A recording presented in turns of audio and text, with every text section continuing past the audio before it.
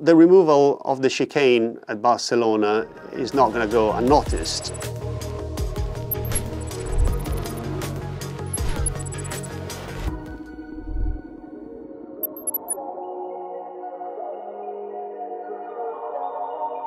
Preparing for an F1 race is very much a team effort, so we've got a lot of people here in a variety of roles.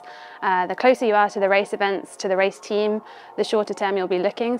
And it's our job at the factory looking further ahead to make sure we're prepared in advance so that when we come to meetings the week before or the week of the race, we have all the results ready to go for the race team.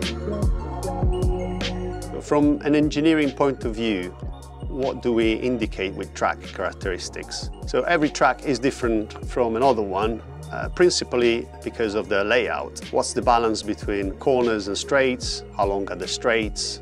The surface, so the type of tarmac and how it interacts with the tyres. The weather is another thing that is also quite different from all the venues we are going to. There are also tracks like Austria, for example, where you have cambered corners. Uh, some are on camber, which means that the track leans to the inside of the corner, or other ones where you got negative camber, so the, the inside of the corner tends to be higher than the outside.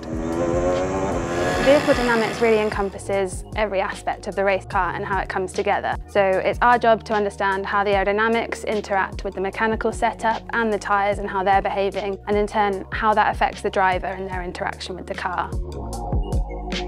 When we talk about the feel in the car, it usually just means how connected are we to it? How much confidence does the car give us? And that's usually relatable to how the setup is of the car, how does the tarmac feel? How does the track in general comply with, with what we expected? The track characteristics are impacting the way we're setting up the car. The layout dictates what your efficiency uh, has to be, hence the choice of your rear wing. So Monza is looking for a high efficiency car and rear wing. Monaco is the opposite. You like dirty downforce, you like to be inefficient but with as much load as you can. When we get to a race weekend, track time is very limited. We only have a few practice sessions at the weekend, so we need to be as prepared as possible. And the simulator is our only tool that has the driver in the loop. So as well as the data and the lap time measurements, we also get the fundamental driver feedback. So it's a really vital tool. When asked how important the simulator is, usually the answer will be very important. Uh, these days the simulators have become very valuable to us. Track time is incredibly limited and while sim time is less so, we still need to get drivers in, we need to have them do a number of laps for every test item, so there is still a time limit in what we can achieve in the simulator. So we use computer simulations to scan a much wider range of options and we pick the most interesting ones to test in the simulator and then a subset of those will be tested at the track. Any circuit changes, whether it's a change in the layout or a resurfacing of the track, that introduces uncertainty into our process. As engineers, we love data, so we're happiest when we have a big history at that track and we know that the decisions we're making are correct. Barcelona has always been in the top list of preferred tracks for most teams. It used to be the track where most teams went for preseason testing, which meant it kind of became the standard place to be in and try out new things. The removal of the chicane at Barcelona is not going to go unnoticed. It was the slowest corner of the track with high curbs and your setup had to be compromised for it. Now that that is gone, flavor of the track will change slightly. Having changed the Barcelona layout, usually that will have as an impact the speed of the track. It'll increase massively. We'll obviously lose that chicane, which is probably the slowest part of the track. So that will mean quite a lot more stress on the left side of the, of the car.